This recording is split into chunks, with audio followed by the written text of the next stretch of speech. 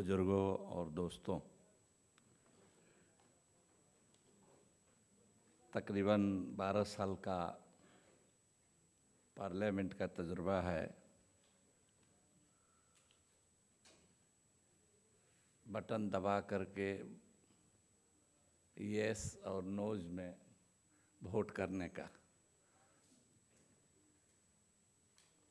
किसी बिल पर वोटिंग में हम लोग पार्लियामेंट में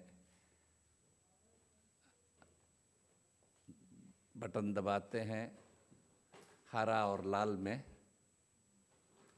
और यहाँ मौजूद हैं कई सीनियर जर्नलिस्ट और एकाध लोग जो उस दीर्घा से हम लोगों को कवर करते हैं, वो लोग उनको भी हम देख रहे हैं।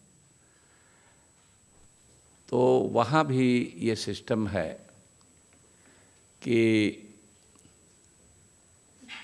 हम लोग जब बटन दबाते हैं तो कई बार या तो जिसको वोट कर रहे हैं, वो बत्ती जल नहीं रही है, लाल या हरा, या जो स्क्रीन पर जो फिगर आता है, वो बिल्कुल उल्टा पुल्टा होता है। तो ये, अनिल चमरिया जी हैं, ये लोग प्रेस दीर्घा से हंसने लगते हैं, हम लोग भी मज़ा लेते हैं एमपी लोग हँसते हैं। अब और कई बार पूर्व प्रधानमंत्री हम नाम नहीं लेंगे, पूर्व प्रधानमंत्री तक का वोट वो गलत हो जाता है। तो फिर से पर्ची वहाँ सिस्टम है कि पर्ची भी ले करके पार्लियामेंट के जो कर्मचारी हैं, वो घूमते रहते हैं कि आप उसको ये कीजिए। और फिर सब्जेक्ट टू करेक्शन वो अनाउंस किया जाता है रिज़ल्ट तो अभी बात हुई पेपर ट्रेल मशीन में लगाने वीवीपैट जिसको कहते हैं शायद। तो वो तो पूरी जगह लगा भी नहीं।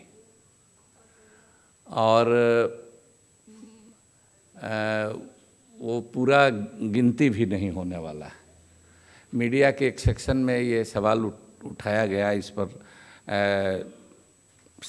उन लोगों ने मीडिया, आप जानते हैं कि इस तरह के सवालों पर वो लोग भी कोशिश करते हैं कि सहमति बन जाए, या दिखाते हैं कि इस पर आम सहमति हो रही है। तो वो, उन लोगों ने कोशिश की कि अगर पेपर ट्रेल लग जाए पूरा तो शायद इस मसले का हल हो जाए टेम्परिंग वाले मसले का। अब अभी ये कायदे से आ, ये सवाल अभी वहाँ भी नहीं उठा है कि आ, वो जितना परसेंट कह रहे हैं इतराज़ होने पर 10 परसेंट बीस परसेंट उसको मिला करके देखा जाए ये सवाल वहाँ अभी उस ये में भी पूरी तरह से नहीं उठा है। मैं तो कोई इस, इसका एक्सपर्ट नहीं हूँ। बिल्कुल नहीं हूँ। और आप लोगों ने जो जानकारी दी है तो उसमें मैं सोच यही रहा था कि भाई आ, क्या पिन पॉइंट कैसे किया जाए? जनता को आपके इसे एक तरह से कहिए इस एक्सपर्ट के ओपिनियन का फ़ायदा उठा करके हम लोग जनता में किस तरह से ले जाए। तो हमको लगता है कि दो तीन चीज़ हमने, एक तो जनता में ये डाउट है। अब इसको मैंने लोग देख रहे हैं और चीज़ें जो घटनाएँ घट रही हैं और अपने मेहुल भाई जैसे लोग पैदा हो रहे हैं, जगह जगह, अपने मेहुल भाई। तो वो लोग भी शंका को मज़बूत कर रहे हैं।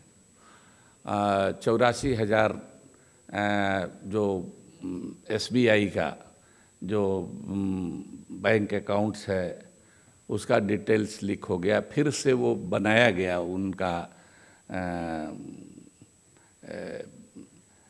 कार्ड इशू किया गया। ये सारी चीज़ें हैं रोज़ रोज़ ये निकल निकल रही हैं। तो लोगों में शंका है। लेकिन अब एक सवाल ज़रूर है कि जो सियासी पार्टियाँ हैं, वो इस पर अभी ऐसा लगता है कि कुछ उधेड़ बूंद में है। और इसकी वजह यह है कि लोग कभी कभी शायद इस गलत फहमी में रहते हैं कि भाई पंजाब कैसे जीत जीत गए? बीजेपी को है, पंजाब कैसे गई। पीछे में हम लोग भी उस समय थे अपनी पुरानी पार्टी में तो मोदी जी को हरा करके हम लोग भी जीत गए। तो हम लोग अभी ज़्यादा ज़ोर इस पर दे रहे हैं। शायद अभी भी कि भाई जिसको 2014 में पॉपुलैरिटी पीक पर थी तो उसको वोट मिला 31 परसेंट। इट मीन्स कि 69 परसेंट उसके खिलाफ और हम लोग वो मिसाल देते थे कि भाई हम लोग उस 69 में से ज़्यादातर लोगों को एकजुट कर लिए तो वो हार गए। जितना भी हेलीकॉप्टर घुमाए जितना भी ये करें ये हो गया। लेकिन एक चीज़ है मैं उसके बियॉन्ड जो खतरा है आ, आपने मैम ठीक बताया कि जिस तरह से डेस्परेट हो करके चीज़ें हो रही हैं, और जिस तरह का माहौल बनाया जा रहा है पूरे देश में, और खाम खा मिलिट्री को, सेना को उसमें इन्वॉल्व किया जा रहा है, जिसमें आम तौर पर इस देश की परंपरा रही है कि उसको इन्वॉल्व नहीं किया जाता है। ठीक है, सबके मन में सम्मान है, और सब चीज़ें हैं, लेकिन जिस तरह से किया जा रहा है तो वो सब चीज़ें कुछ खतरे का संकेत दे रही हैं।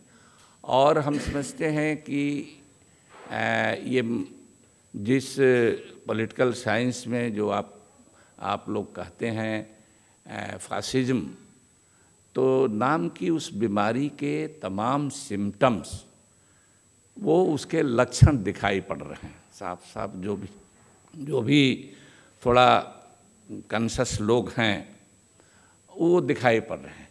तो क्या होगा, इसके बियॉन्ड हम देखते हैं कि क्या हुआ। मान लीजिए उन्नीस का चुनाव। ये छोड़ दीजिए राजस्थान का चुनाव या कर्नाटक का चुनाव या एकाध स्टेट का चुनाव। उसके बाद उन्नीस के चुनाव में, अगर मान लीजिए गुजरात में के वकील साहब ने बताया हम लोग भी घूम रहे थे गुजरात के चुनाव में।